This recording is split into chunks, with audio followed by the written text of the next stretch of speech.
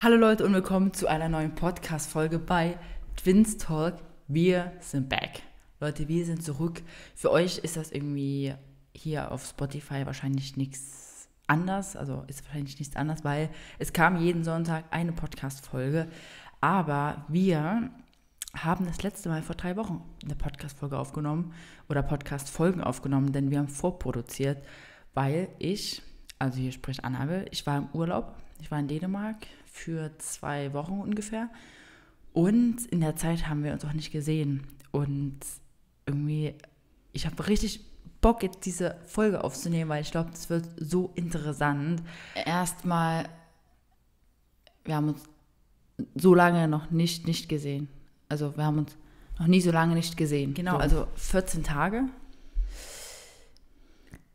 Das, das klingt, ja, 14 Tage, bla bla bla, aber so als eineige Zwillingsschwestern, äh, wir waren immer zusammen. Es gab vorher nie einen längeren Zeitpunkt als vielleicht vier, fünf Tage, wo wir uns nicht gesehen haben. Ja. Und jetzt waren es wirklich 14 Tage. Und wir werden in dieser Folge so ein bisschen darüber sprechen. Also, oder ein bisschen so berichten. Erstens, was ist passiert? Wie lief das? Und allgemein so ein paar News, weil es gibt sehr viel zu erzählen. Also erstmal, ich muss dich ein bisschen ausfragen. Du warst weg, du warst im Urlaub, bei dir ist wahrscheinlich, gut, bei mir ist auch viel passiert, aber wir fangen erstmal bei dir an. Wie geht's dir? Wir haben übrigens jetzt, es ist auch nicht gestellt oder so, wir haben jetzt wirklich, wir haben uns zwar jetzt schon zwei, drei Tage gesehen, aber... Wir haben bewusst uns nicht so doll ausgetauscht, damit wir hier in der Podcast-Folge ein bisschen mehr quatschen können, genau. Wie geht's dir? Also, ich habe ja gehofft, dass ich mich im Urlaub so ein bisschen erholen konnte oder kann weil ich war so richtig im Stress-Overload, also einfach total überarbeitet. Gerade so die letzte Woche vom Urlaub, Struggle is real, einfach so komplett überarbeitet und super viel zu tun gehabt, vorproduziert und so weiter. Und eigentlich sagt man ja, man soll vom Urlaub auch so ein bisschen entspannen, um in den Urlaub reinzukommen, aber das ist mir so ein bisschen schwer gefallen. Und im Urlaub angekommen habe ich gemerkt, am Anfang hat mich das noch so ein bisschen gestresst und ich war auch so ein bisschen, muss ich ehrlich sagen, am Anfang war ich so, hm, ich habe mir Trainingssachen mitgenommen, also so Bänder oder die ähm, Dots von Broses, die sind mega, mega cool. Aber ich kam nie dazu. Am Anfang dachte ich, ja komm, ich mach mal was. Habe am Anfang vielleicht, ich habe einmal was mit Bändern gemacht am Strand, aber auch nur ganz kurz und dachte mir, das ist eigentlich auch so unnötig, da kann ich es auch gleich lassen. Also keine halben Sachen. Also ich bin ja, ich bin ja kein Fan von, ja, im Urlaub ist Urlaub, da muss man keinen Sport machen oder so. Wenn es einem Spaß macht, wenn man Lust hat, dann go for it, dann macht Sport. Aber wir waren halt, das muss ich gleich noch erzählen, wir waren mit dem Wohnmobil unterwegs, mein Freund und ich. Und da ist halt kein Gym oder so, und es war auch in Dänemark sehr, sehr kalt und regnerisch. Also jetzt auch nicht so, wo man sagt, ja, da kann man dann mal draußen Outdoor, schön am Strand mit kurzen Sachen. Nee, Leute, es war wirklich arschknacke kalt. Wie kalt war es? Schon so 10, 11, 12 Grad. Boah, wir hatten ja strahlenden Sonnenschein in Leipzig. Ja, naja, gut, wir waren auch davor an der Ostsee, da war es ein bisschen wärmer. Da konnte ich am Strand dann ein bisschen was machen, aber auch nur das habe ich vielleicht die ersten zwei Tage oder so gemacht und dann gar nicht. Einmal waren wir in Dänemark, in Skive. Da gab es ein Gym und da habe ich trainiert. Und ich habe schon ein bisschen geguckt, dass, also ich habe schon bewusst den Stellplatz in der Nähe von dem Gym rausgesucht, weil ich mir dachte, es soll am Tag nur regnen. Und ich dachte mir, das wäre perfekt, um mal ins Gym zu gehen, weil bevor man nur in der Bude hockt, dann kann man auch ins Gym gehen. Und ja, aber dann bin ich dann auch immer mehr in den Urlaubsmodus reingekommen und konnte auch abschalten und habe auch gar nicht mehr so an Sport gedacht und dachte mir, okay, gut, dann ist es halt, ist halt so passiert, das nächste zwei Wochen. So, wir machen immer ab und zu mal vielleicht mal eine zweiwöchige Trainingspause, alles gut. Mittlerweile habe ich da auch kein Problem mehr mit. Ich glaube, mich hat es eher nur so ein bisschen, ich habe mich dann wahrscheinlich so ein bisschen mit dir verglichen, also mit Maria, und mir dachte, und mir gedacht habe, okay, gut, Maria trainiert und hat, hat normal ihre Routine und ich halt nicht. Und das ist total falsch, das weiß ich, aber die Psyche, die denkt halt nicht so, muss ich einfach ehrlich sagen. Und aber trotzdem habe ich einfach, wie gesagt, bis auf die ein, zwei Male äh, war ich auch nicht trainieren oder so, habe jetzt auch nichts gemacht. Und ja, ich kam dann auch mehr in den Urlaubsmodus rein, kann, konnte ein bisschen entspannen. Was habt ihr den ganzen, wie sah denn dein typischer Ablauf im Tag aus? Also, es war wirklich ganz entspannt. Mein Freund ist jetzt auch keiner, der so Stress hat und so organisiert ist, so wie ich oder so. Ich bin ja total strukturiert und organisiert und selbst im Urlaub bin ich so. Und also wirklich immer ausgeschlafen. Und ich habe dort so gut geschlafen, also ähm, in dem Wohnmobil. So gut, wirklich. Meistens durchgeschlafen. Ähm, bis um acht. irgendwie so Reizhusten. Und ja, dann entspannt gefrühstückt. Also wir waren sicherlich erst um 10, um 11 fertig mit, so, wir können jetzt mal den Tag starten. Also wirklich alles ganz entspannt, weil in Wohnmobil muss man abwaschen und ist ein bisschen enger und da ist einfach nicht alles so, so schnell. Meistens habe ich dann Frühstück gemacht, habe den Tisch gedeckt, Brot, Porridge und so. Das war auch was anderes, sonst habe ich immer mein Porridge gefrühstückt. Sonst, Leute, ihr wisst Bescheid. Und so hatte ich halt Porridge und noch Brot. Also Aber hast du dann trotzdem, hast du dann dein normal großes Porridge ja, gehabt? Ja, also, ja, habe ich. Ich habe eigentlich normales Porridge gemacht. Am Anfang für ihn mit, aber dann wollte er wieder sein klassisches Haferflocken-Ding haben. Und dann habe ich für mich alleine Porridge gemacht und für ihn sein Haferflocken-Gemisch. Also er isst sie einfach roh mit heißem Wasser aufgießen. Ja. ja.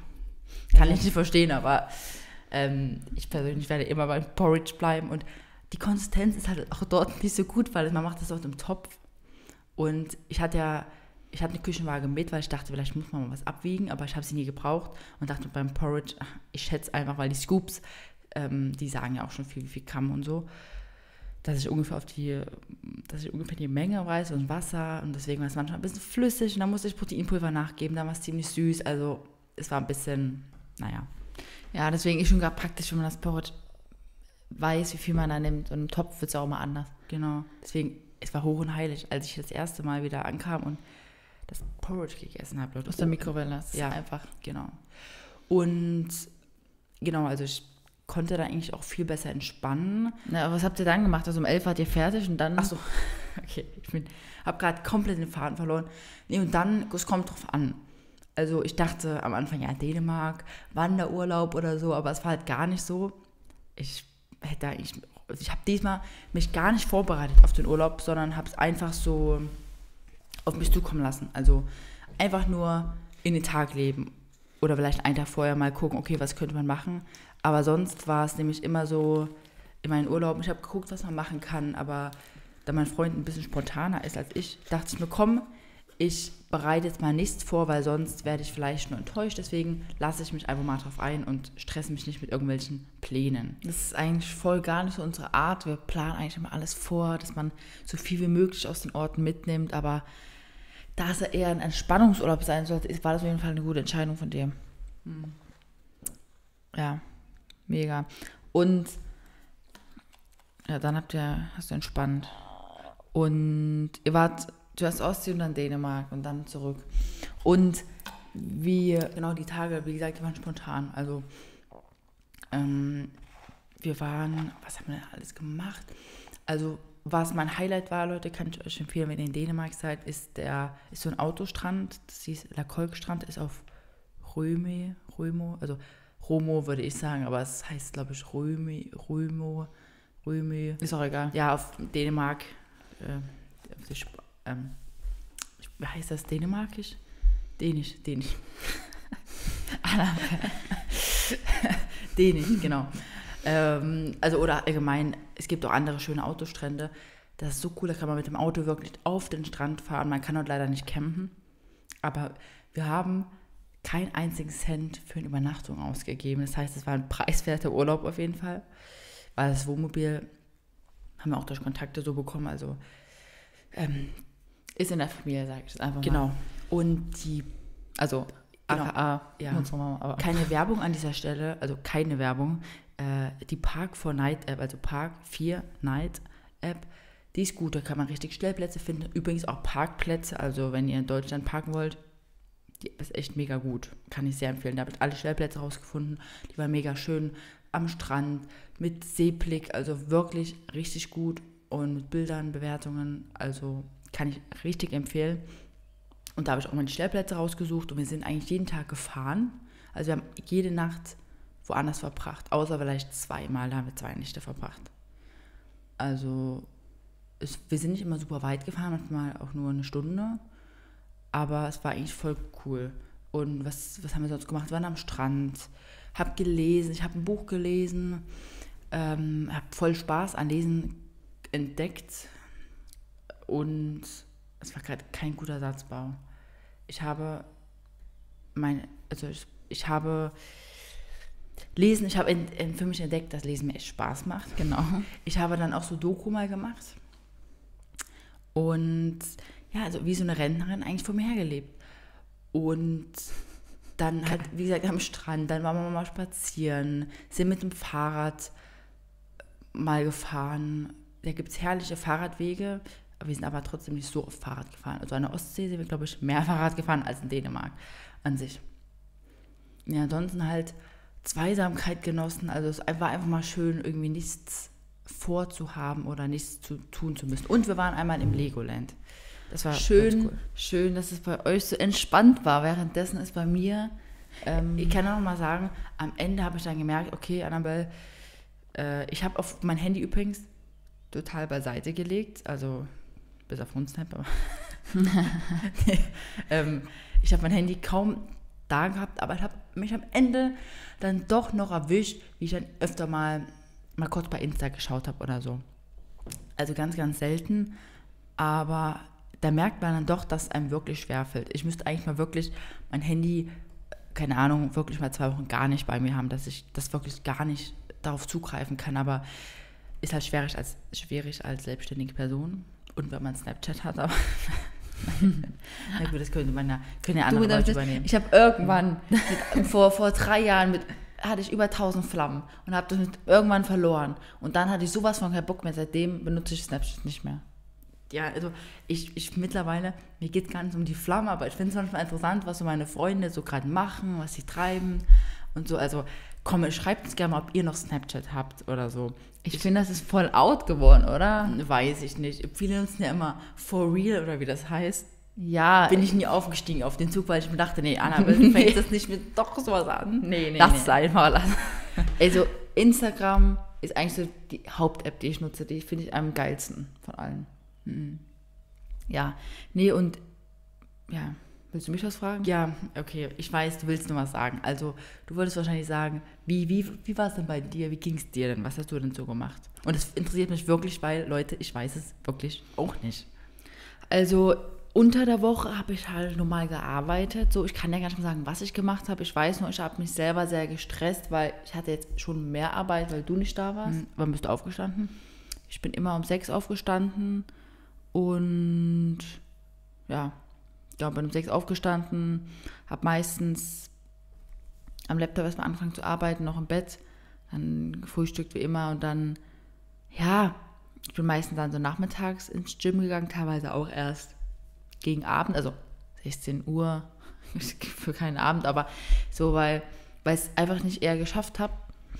Ähm, es war irgendwie, ja, dann habe ich immer mal ein Fenster in der Wohnung geputzt, war ich meine, die Leute auf Instagram wissen, was ich gemacht habe, so, aber hab, gut, nicht alles, aber hab viel halt, ich weiß es nicht, Kommentare beantwortet, was du sonst immer zum Beispiel machst, muss, muss ich natürlich dann auch extra machen. Genau, das und so, dann, ja, ich, ich kann ja, ich habe jedenfalls ganz viel gearbeitet, aber das hat mich schon sehr gestresst, weil ich wollte natürlich trotzdem alles schaffen und dann habe ich manchmal zu viel vorgenommen und dadurch war ich dann teilweise richtig traurig am Abend und irgendwie verstimmt oder negativ gestimmt. Ich habe auch meine Periode dann bekommen. Und du hast mir erzählt, als ich wieder kam, ja, ich habe jeden Abend geheult. Ja, so fast, weil nicht wegen dir, ich vermisst habe oder sowas, gar nicht. Nein, aber weil, weil ich mir so einen Stress gemacht habe und das stresst mich, weil mich das richtig abfuckt, weil ich mal eine bessere Zeit hatte, wo ich mich weniger gestresst habe. Aber das war jetzt vielleicht nur erstens die Lutealphase, die Menstruationsphase so ein bisschen auch und weil ich eben mir, weil ich, weil du nicht da warst, der gesagt hat, komm, ich mach's oder ich wusste, ich bin auf mich allein gestellt. Wenn ich das ja nicht schaffe, dann schaffe ich es nicht. Dann ist keiner, der sagt, komm, ich mach's. Und alles aufschieben bin ich auch nicht so. Und deswegen hat mich das selber so ein bisschen gestresst. Und vor allem ist es eigentlich auch total unnötig, weil wir sind selbstständig ständig und wir haben ja nicht diese krassen Termine. Also klar, wir haben so gewisse, gewisse Pflichten, gewisse Posts zum Beispiel. Das ist jetzt nicht so, meistens das ist jetzt nicht so, Das ist das Wenigste. irgendwie. meistens ist jetzt nicht so, dass es, dass es morgen erledigt sein muss. Es kann auch in zwei Wochen erledigt werden, aber ich bin halt, halt- ich schiebe ungern was auf, außer die Steuererklärung. Aber den Rest müssen wir auch noch für letztes Jahr machen. Oh, shit. Eigentlich wollten wir das Anfang des Jahres machen, weil man da so schon, da hat man es weg, aber es ist jetzt schon wieder die Hälfte des Jahres um und die Frist ist, keine Ahnung, bis wir mit Zeit haben, ich weiß gar nicht. Oktober oder so? Hm. Naja, Und wie war, hat sich was geändert? Also war irgendwie deine Ernährung anders oder hast du, sonst ist man ja oft, oder dein Training, wie war es? also mein Training, eigentlich machen wir, weil man kann auch noch sagen, wir trainieren ja oft auch zusammen und haben teilweise Übungen, wo man zwei Leute braucht. Also wo Ja. wir uns zum Beispiel gegenseitig im Handstand halten.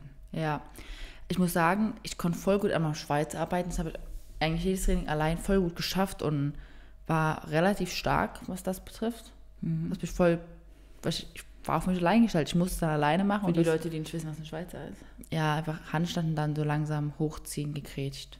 Ohne, Also in den Handstand hochziehen. ja, ohne Also wenn ihr, abzuspringen. ja, wenn ihr uns, ich unterbreche die ganze Zeit, sorry.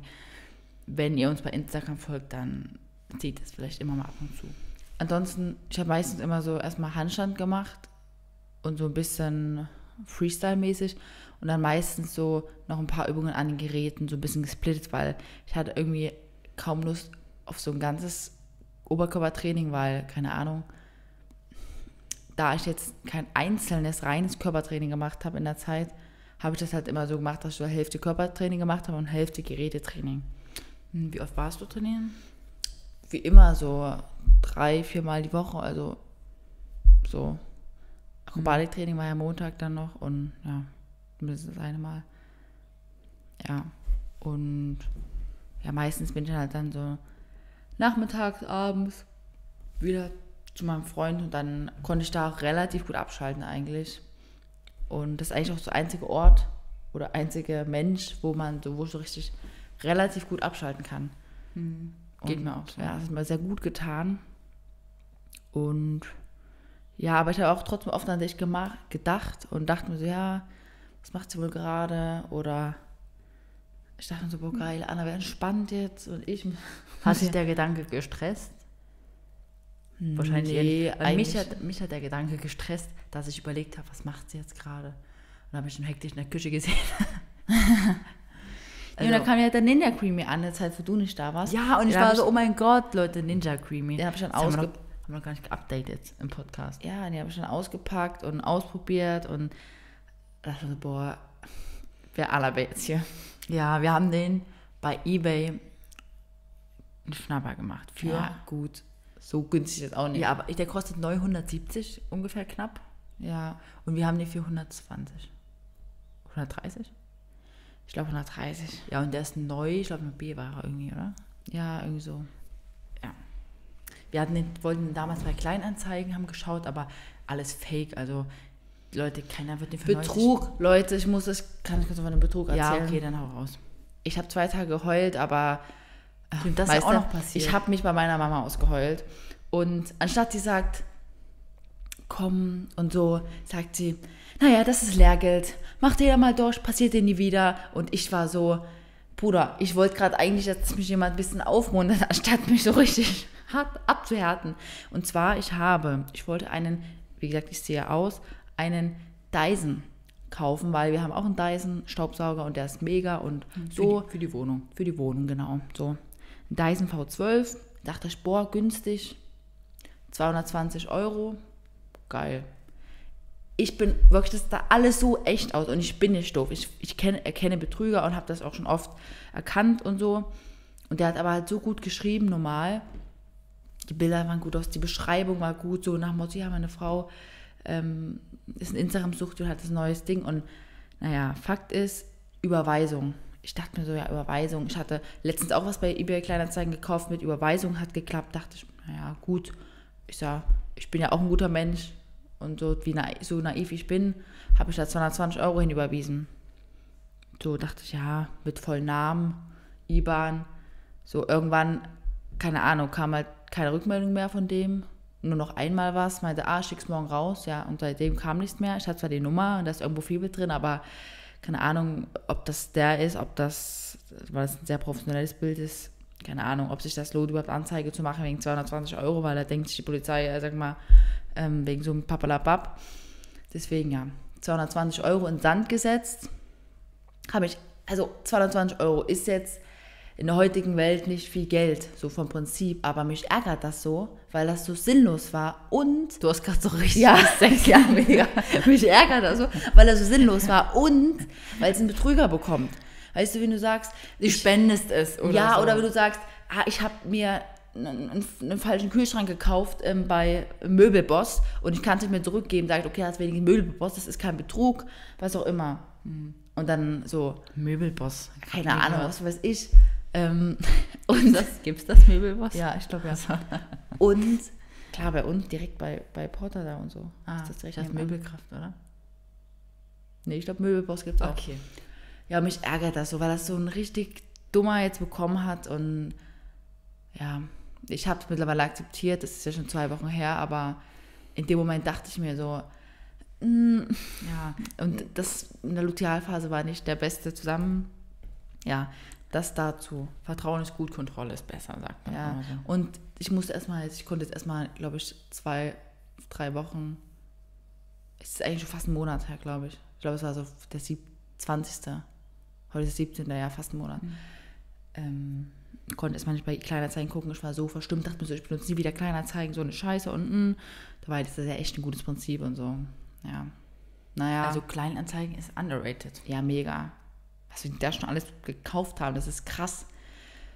Ja, und seitdem, also jetzt war ich nur noch PayPal mit Käuferschutz oder direkt über die Kleinanzeigen-App, weil gar kein Bock mehr auf Betrug oder irgendwas. Oder ich hole es ab, weil es wäre sowieso schlauer gewesen. Es war nur anderthalb Stunden weg. Man hätte ja wirklich so, weil dann hätte der irgendwann wahrscheinlich nicht mehr geantwortet. Ja.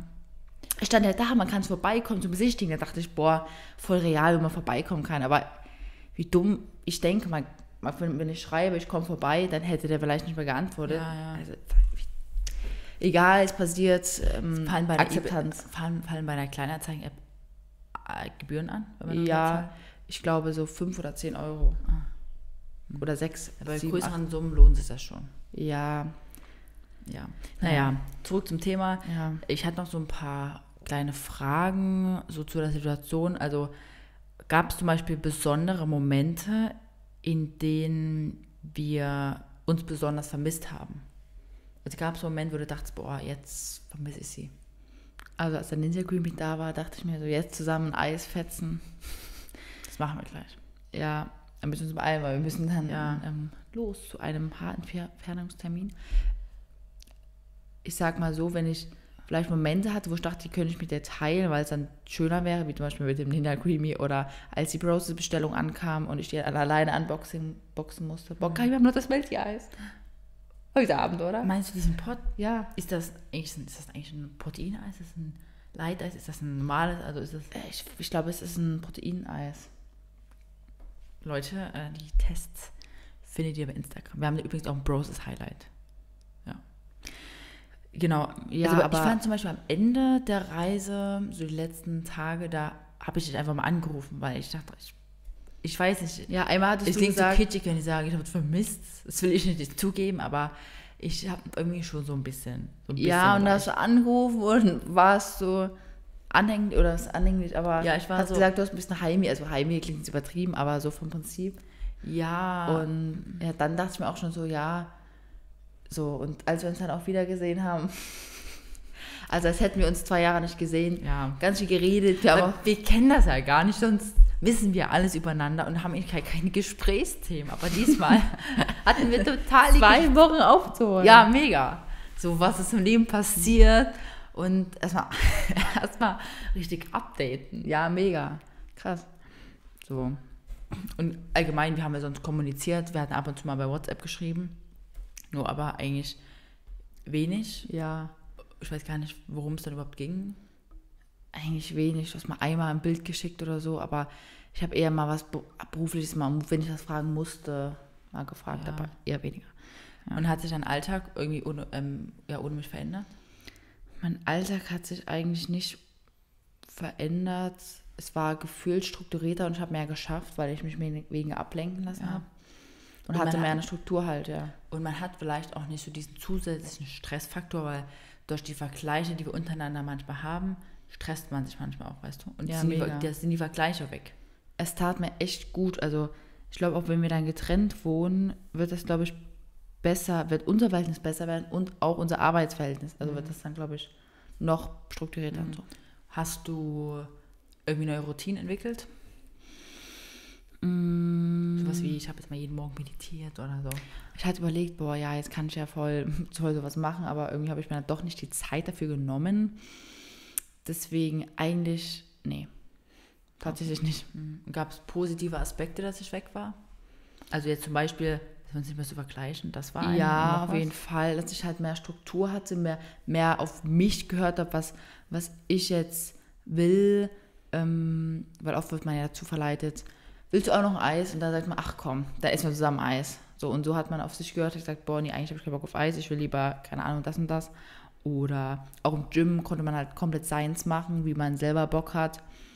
Klar, es ist auch gut, wenn man jemanden hat, so überwindet man mehr sein Schwein und jetzt mal die die Übung zu machen, aber ansonsten, ja, wie gesagt, ist allgemein, dass halt einfach mehr, ich mehr auf mich hören konnte und mich selber wie weiterentwickelt habe oder mich selber, ja, ich war halt komplett unabhängig. Und wie war es, oder wie haben wir uns gefühlt, als wir uns das erste Mal wiedergesehen haben? Hast du dich gefreut? Ganz kurz, was negativ war, ist, man ist so langsam beim Kochen. Ja, mega, das ist mir auch schon mal aufgefallen. So schlimm, bis man mal geschnitten hat und das ist schlimm. Ja. ähm, ja. Ist wirklich, also Respekt an alle, die alleine kochen, ist ja anstrengend. ja, ist einfach so, weil man da noch nebenbei filmt. Also Gott, Halleluja. Ja. Also Respekt an alle Nee, ich hab Rezept mich- Queens bei Instagram. Ja, ich habe mich sehr gefreut, als ich wieder gesehen habe. Irgendwie, es war so, weiß ich nicht, als hätten wir uns zwei Jahre nicht gesehen und wir haben uns richtig gefreut und haben, mussten mal ganz viel reden und Es war jetzt nicht so, dass wir uns in die Arme gerannt sind, das machen wir irgendwie nicht. So, wir, Nee. also wir haben uns Arme uns nie irgendwie. ja, nee, das sehen wir nicht. Aber trotzdem, man sieht ja, keine Ahnung, wir haben so halt Wir geben uns die Liebe anders. ich habe Maria was mitgebracht, so gibt es so besondere Leitgetränke in Dänemark. Und das habe ich ihr mitgebracht. Boah, ich habe irgendwie seit gestern ein bisschen Bauchschmerzen. Das merke ich gerade wieder. Das regt mich gerade übel auf. Das wollte ich doch gerade mitteilen. Hm. Ja. Würdest du etwas anders machen, wenn wir das nächste Mal getrennt sind? Nee, also eigentlich nicht. Also jetzt an deiner Stelle, klar wäre es gut, wenn das Handy vielleicht komplett weg wäre, um halt noch mehr abzuschalten. Aber vom Prinzip eigentlich nicht. Hm. Ich habe ein paar Aufgaben von dir übernommen, aber das, was aufgeschoben, aufschieben geht, haben wir gemacht. Also eigentlich war es trotzdem gut. Ich meine, jetzt halt waren schon ein paar viele Kooperationspostings, aber die habe ich echt ganz gut gemacht. Das, das, ne, eigentlich fand ich gut, wie es war, muss ich sagen. Klar, wünscht man sich natürlich, dass, dass du noch mehr Stories machst, aber du bist im Urlaub, weißt du, deswegen kann man das ja nicht verlangen und ja, deswegen. Ja, ich wollte auch jetzt nicht gegenüber meinem Freund oder meinem Freund immer so das Handy mit dabei haben. Ich habe viele Fotos gemacht, auch von uns und so, aber halt für mich und nicht für die Öffentlichkeit sozusagen. Also wenn ihr mal mein Handy findet, dann wisst ihr alles, was passiert ist. Genau. Nee, und denkst du, dass wir nochmal so lange, also würdest du dich nochmal so lange von mir trennen? Eigentlich Muss die Frage ja. ist sinnlos. Ja. Ja, Ist jetzt nicht so, dass wir sagen, oh mein Gott, das war so schlimm oder so. nee. Ich fand's gut. Ich fand's total gut. Also es war jetzt nicht so, dass ich dachte, oh mein Gott, es war so schlimm, unaushaltbar. Deswegen ähm, ist alles gut.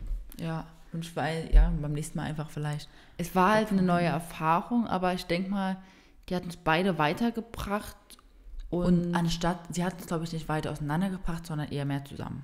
ja, Weil manchmal ist Distanz auch ganz gut, um wieder sich so. näher zu kommen. Ja. No homo, aber so vom Prinzip. Ja, genau. So, Ja. ich würde sagen, dass alles gesagt ist. Ja, Ja, gebt mal gerne Feedback, ob ihr sowas auch mal hattet. Vielleicht nicht mit eurer Zwillingsschwester, wenn ihr keine ja. Und als du weg warst, war ja bei uns auch die Schlüsselübergabe von der Wohnung. Stimmt. Das ist noch passiert. Das war auch so Und du hast die Wohnung ja auch erst vor zwei Tagen das erste Mal gesehen. Ja. Und da haben wir Da- wo da haben wir ähm, Fliesenhaus gemacht und so. Und Leute, ich habe mir sowas von geschnitten. Leute, ich will dazu sagen, die Wohnung ist im dritten und vierten Obergeschoss, ist eine Maisonettenwohnung, halt doppeletagisch und es gibt keinen Aufzug. Dementsprechend mussten wir die Fliesen, die bottische, immer hoch, runter, hoch, Ich runter. habe beiden Muskelkater. Es gibt bei Instagram auch ein Highlight, Umzug, schaut dort gerne mal rein. Da nehmen wir euch mal mit und oh, es kommen so coole Vlogs und ich freue mich. Ist zwar nicht meine Wohnung, aber ich freue mich trotzdem. Ja, ich freue mich auch. Was ich habe zwar, weißt du, ich, ich, ich, ich so Samstag, als wir schon fast fertig waren, ich so, ich könnte jetzt einfach losheulen. Weil, ich weiß es nicht, wenn ich so die Wohnung sehe, die sieht gerade aus, die ganzen Böden sind raus, die sieht aus wie eine Ruine, so gefühlt. Also so, weil kein Boden drin ist und so und irgendwie alles ist so ein bisschen verstaubt und da denkt man sich so, wie soll das noch schön werden? Ich finde, du, da können wir auch mal eine extra Folge zu machen, sonst wird es jetzt zu lange, aber ich finde, du wirkst jetzt so anders mit der Wohnung. Aber da können wir auch nochmal eine andere Folge zu machen. Das würde jetzt zu weit. Das interessiert mich auch mal, was du dazu sagst. Ja. Aber weil ich merke das gar nicht so. Aber okay, krass. Ja. Gut, dann würde ich sagen, schaut gerne mal Instagram und TikTok vorbei. Dort heißt mir Annabel und Maria. Werbung bestellt gerne bei Broses mit dem Code AM. Da gibt es geile Produkte. Und wenn ihr Fragen habt, schreibt uns gerne bei Instagram oder irgendwo auf Social Media. Wir antworten eigentlich immer. Am schnellsten sind wir bei Instagram erreichbar. Genau. Also, ich würde sagen, habt einen schönen Tag, bleibt gesund und ich hoffe, wir haben nichts vergessen, aber ich denke mal, es ist alles gesagt. Ja. Und dann Bis macht's zum gut. nächsten Mal. Ciao. Ciao.